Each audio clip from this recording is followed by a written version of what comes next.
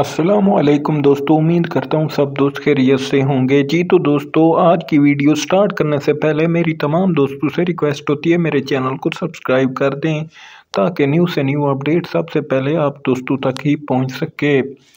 तो दोस्तों, आपको बताता चलूँ कि जो निगरान वज़ी अजम साहब हैं, उसने जो पेट्रोल और डीज़ल की समरी है, वो पेश कर दी है और उसको बढ़ा भी दिया गया है।